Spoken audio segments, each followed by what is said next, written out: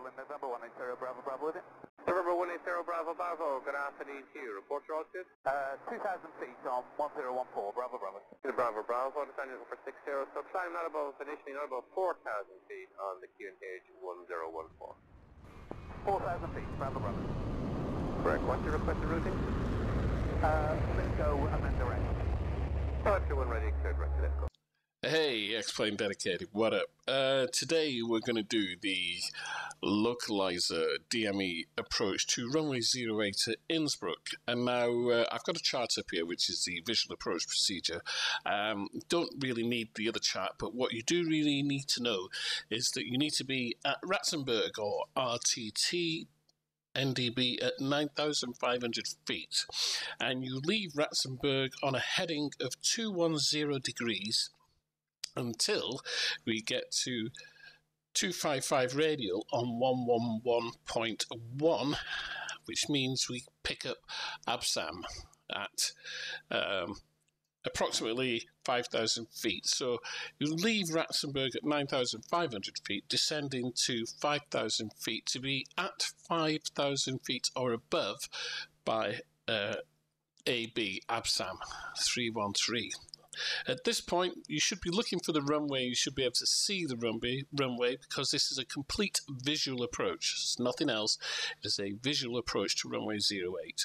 Once you get to AB, turn left on a heading of 230 degrees, okay, descending from 5,000 feet to 3,700 feet by the Innsbruck NDB, which is uh, 264 degrees, right? Once you get to the Innsbruck NDB, you turn right on a heading of 264 degrees, continuing your descent down to 3,700 feet, and you turn at approximately three and a half miles DME onto final for the runway. So you need to be keeping a lookout to the right hand side for the runway.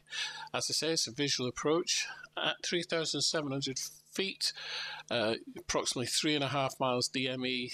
Turn right and roll out onto final approach for runway 08. Now, in practice, this is what it looks like. So I've come off, I've come off AB, and um, hopefully on that heading, I know that I was slightly off the heading here, but I had visual with the runway. We can see it behind me, so I, I, I was visual all the way down here and you need to be bleeding speed off. Now, recommendations, especially in the 737, is that you really should be full flap at this particular point. I wasn't full flap, which was maybe a little bit of a mistake, but I started my right hand turn.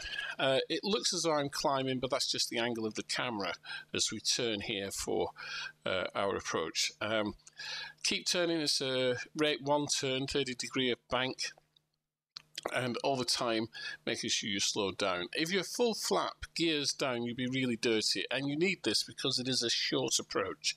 It's an extremely short approach, around about three three miles when you make that final turn, as you'll see in a moment. Uh, there we are, just turning in the valley, plenty of clearance, uh, no no danger of hitting anything uh, as we come around.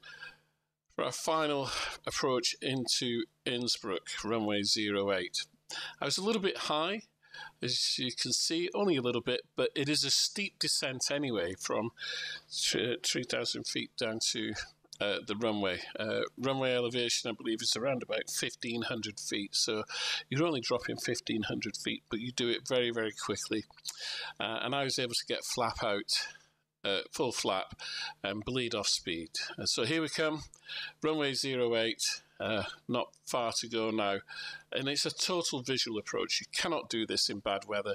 It is a visual approach from uh, Rattenberg at 9,500 feet, descending to 3,700 as you make that turn. Uh, you've got to look at the charts, follow the charts, and you can't go far, far wrong.